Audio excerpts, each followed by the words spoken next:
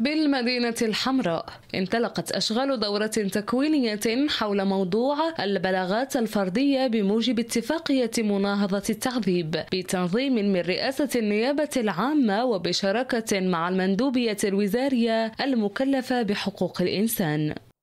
الوكيل العام للملك رئيس النيابة العامة السيد الحسن الداكي أكد خلال اللقاء أن المملكة المغربية واكبت انخراطها في اتفاقية مناهضة التعذيب بالعديد من الإصلاحات للوفاء بالتزاماتها المترتبة عنها ولا سيما على مستوى قوانينها الوطنية. ننظم اليوم هذا اللقاء رئاسة النيابة بشراكة مع المندوبية الوزارية لحقوق الإنسان حول موضوع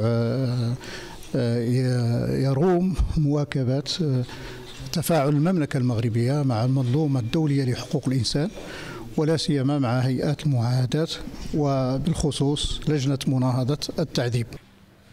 وتهدف هذه الدورة التكوينية إلى تملك وتعميق النظر في المعايير الدولية المترتبة عن اتفاقية مناهضة التعذيب والتزامات الدول الأطراف في إعمالها. وكذا المعايير الدولية حول كيفية إجراء التحقيقات القانونية والطبية الفعالة في مزاعم التعذيب أو سوء المعاملة.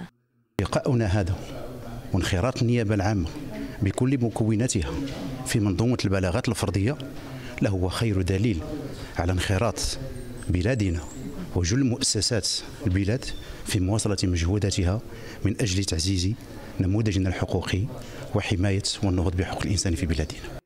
هذه الدورة التكوينية تروم دراسة مكانة البلاغات الفردية في نظام هيئات المعاهدات ولا سيما في عمل لجنة مناهضة التعذيب. والبت في البلاغات الفردية من قبل لجنة مناهضة التعذيب فضلا عن عرض ودراسة حالات ونماذج معروضة على لجنة مناهضة التعذيب.